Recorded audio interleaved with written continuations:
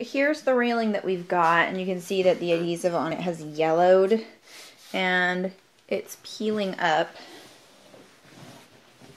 And it's peeling up here on the end. Hi, Bryn. Hi. And it's peeled up at different points along here too. It doesn't doesn't stick anymore. It's just peeled off.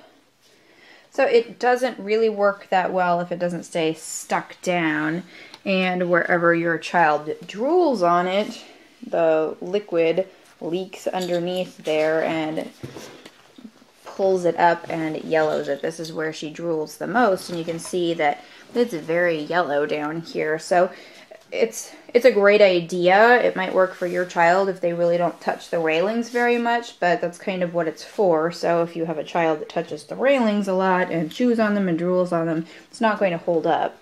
And over here, you can see the corner, it has never stuck, and obviously it's against the wall in the corner, so she can't be drooling on it there.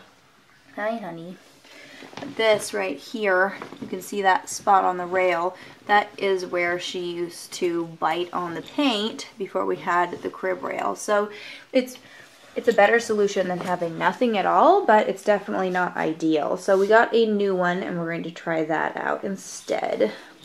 But as for this rail, it's it's very hard to put on. You have to pull the adhesive strips off both sides and they're long strips, so you can only pull a little bit off at a time and try to fit it down and push it along and make sure there aren't any bubbles because the bubbles make it not stick and not fit right.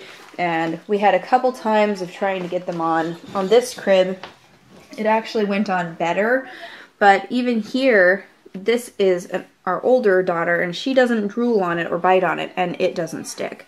And it's not sticky at all on the inside anymore, so there's no way to get it back on. It's just that way. And if you don't push it exactly straight, then you end up with it being all lopsided like it is here, where it doesn't line up on the rail. And again, we've got it completely detached here. Unfortunately, these pieces of white right here are paint that it has ripped off of the crib when the adhesive came off.